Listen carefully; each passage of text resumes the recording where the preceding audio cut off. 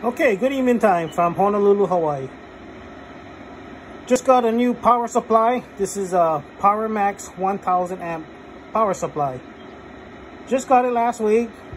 Just want to show the difference when you're using the proper power supply or efficient enough power supply if you want to see it correctly.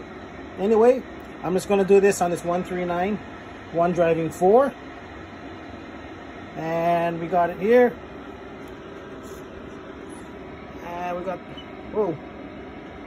It's putting about 15 volts right now. Okay. Uh, at 15 volts. Let's see what we can do. It's supposed to be 14.7 I don't like to hit ace G's with more than 14.7 all right okay. Anyway we're gonna use this Galaxy 2547. Don't mind my mess here. A lot of projects going on. And we're going to use Dosy. Dosy. Let's go 20 watt scale to see the dead key on the Galaxy. Dead key, one and three quarter watt. And let's see the, the swing. Hello.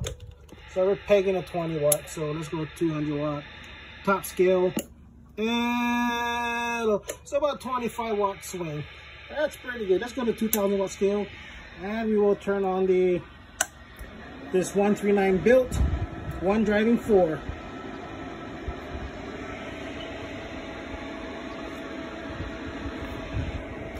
And let's see what it does. About 40, 50 watt dead key. I got my mic gain cranked to it's picking up the background noise, turning down my mic gain. There you go. About 40 watt dead key. Okay, let's see how much watt is peaking now. Oh, one, one, one, one, one, one, one.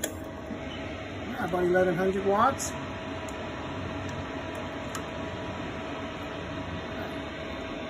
Oh, one, one, one, one, one, one, one all right there. Anyway this little test.